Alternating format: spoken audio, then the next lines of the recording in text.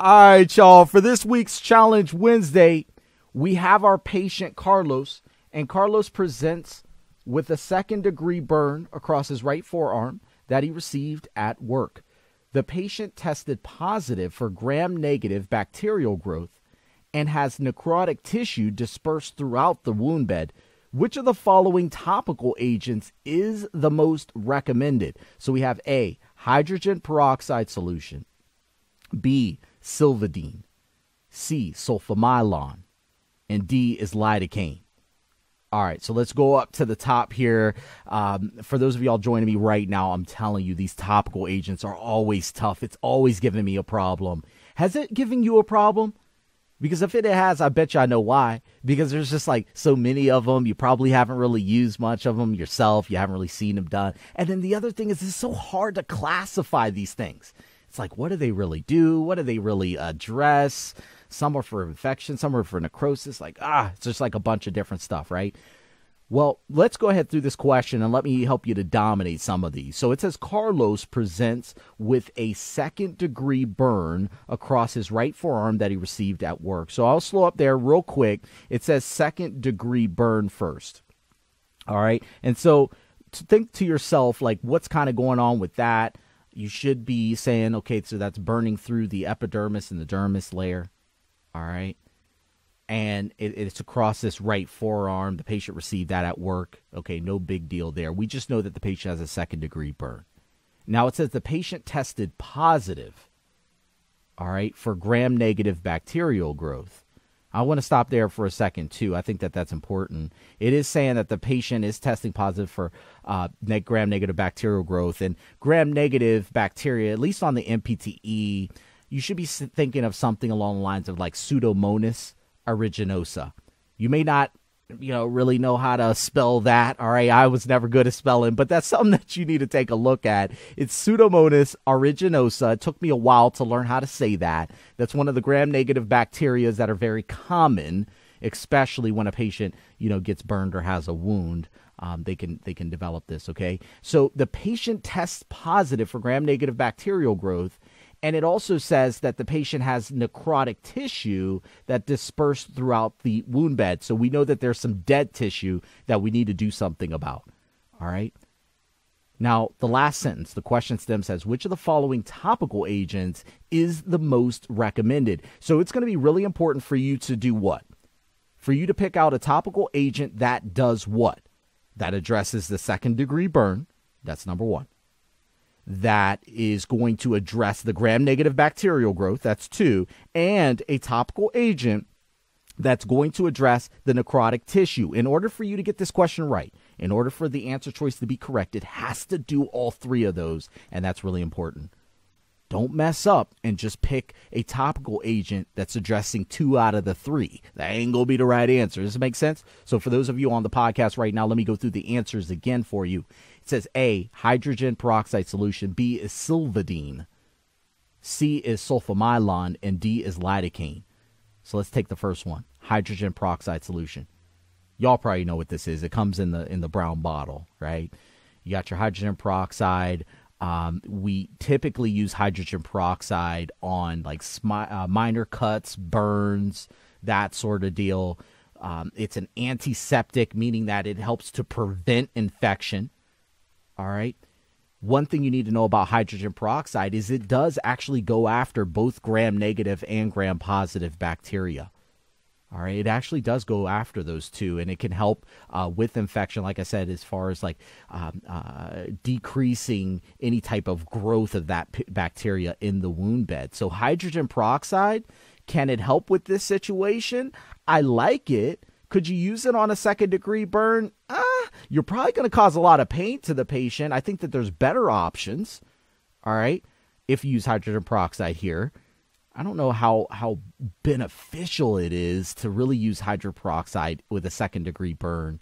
Um, but the piece that I don't like is the necrotic tissue. Like hydrogen peroxide isn't really going to do anything for the necrotic tissue. It's not going to help like break that down or do anything in that regard. And so I, I don't believe that A, hydrogen peroxide solution is going to be our best answer here. All right. For those of you who are like cleaning nerds and all that and like to know what the little chemicals do, I'm telling you, there's a ton of videos online. I looked it up today hydrogen peroxide, just seeing all the different things you can clean with it your toothbrush, the toilet bowl, some of the stuff I didn't know. So, anyway, uh, hydrogen peroxide, it could be used to clean your toilet bowl, but I don't know how good it'll be used in this specific situation. That's the moral of the story. We all good with that? Okay, let's go down to B. B is Silvadene. Now, in your text, this actually can go by a different name, and on the NPTE, it can go by a different name. Okay? Silver sulfadiazine is the other name that it could go by. So it's silver sulfadiazine or silvadene. It's the same exact thing, just known as a different name. Okay? Now, I like silvadene because silvadene is a topical cream that could be used with you know, burns, first degree, second degree, third degree. All right, so that's cool. It satisfies that piece. Um, Silvadene also helps with both gram negative and gram positive bacterial growth. So I like it from that perspective. Here's the deal Silvadene does not, I repeat, does not help with necrotic tissue, though. It doesn't help to break that down. And so Silvadene is getting two out of the three things taken care of here, but not the necrotic tissue. And so I don't really like that as an answer. All right, I, th- I think it's going to be a close second, maybe, but uh, it, it's not the best for the necrotic tissue. All right, C. C says sulfamylon. Sulfamylon, again, another one of these common topical agents that can come up on the exam. It's a cream. Um, it definitely can be used for thermal injury, second degree, third degree, um, usually smaller, though, smaller burns. All right. Uh, sulfamylon can be used for both gram positive and gram negative bacteria. All right. And it can be used for necrotic tissue. When you put it on, it can break down necrotic tissue as well. So it satisfies not one, not two, but all three of the different characteristics of this patient's problem right now. So I love sulfamylon. It's a great answer. Doesn't mean it's the right one. Let's take a look at D. D says lidocaine. Now, you may have seen lidocaine in a, a bunch of different, uh, you know, scenarios, not just topical creams, but maybe you've seen it as uh, an actual medication that we're just using for pain. Maybe it's used with iontophoresis or some type of E-stim unit, that type of deal. So lidocaine is a um, an analgesic that we can use uh, to what? Decrease pain, am I right? Well, here's the deal. Do we expect the patient to potentially have pain with a burn? Yes, we do. That makes sense. But is that our primary impairment here? Is the question really talking to us about pain? No. All right. Does lidocaine help with bacterial growth? No, it doesn't. Does lidocaine help with necrotic tissue and breaking down that tissue? No, it doesn't. So lidocaine doesn't really satisfy the majority of characteristics that this patient's presenting with, so I don't like it as an answer choice. All right. So that rules out both A, B, and D, leaving you with the final answer of C, sulfamylon. Final answer is C. Congratulations to those of you who got this question correct.